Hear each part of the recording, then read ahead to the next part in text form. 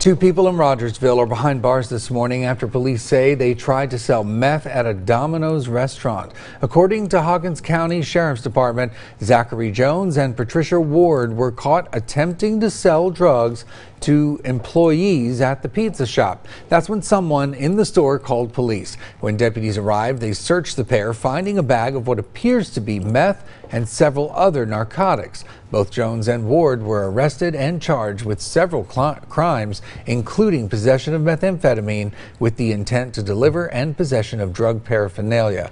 They are both being held in the Hawkins County Jail right now.